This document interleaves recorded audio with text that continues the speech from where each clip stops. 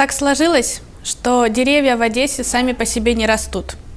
Вся зелень, которую мы видим на улицах города, это та зелень, которую высадили сами жители Одессы. Озеленением города всегда занимались те люди, которым не безразлична судьба Одессы.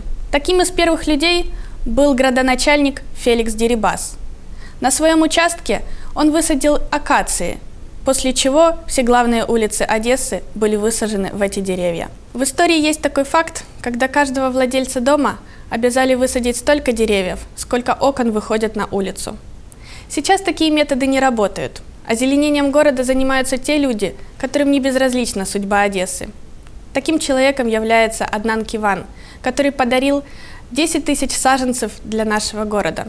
Сейчас все жители могут поучаствовать в этой акции и сделать наш мир лучше.